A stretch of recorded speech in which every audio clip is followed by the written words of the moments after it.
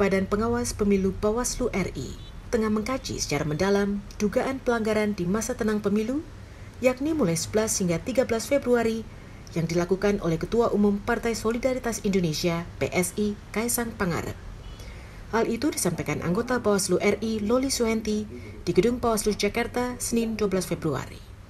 Loli mengatakan, Kaisang diduga melanggar pasal 287 ayat 5 dan pasal 492 Undang-Undang Nomor 7 Tahun 2017 tentang Pemilihan Umum karena mengunggah kegiatan kampanye terdahulu melalui akun Instagram pribadinya @kaisangp.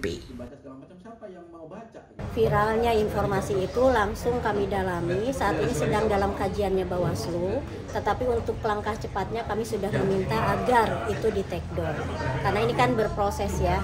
Nah, kita pengen semua pihak sama-sama menjaga kondusivitas. Walaupun demikian, Loli mengatakan bila Bawaslu menemukan pelanggaran, maka Kaisang dapat dikenakan sanksi pidana. Sementara itu, berdasarkan pantauan antara hingga Senin pukul 17 lebih 15 menit waktu Indonesia bagian Barat, terdapat tujuh unggahan kampanye selama masa tenang dalam akun Instagram Kaisang.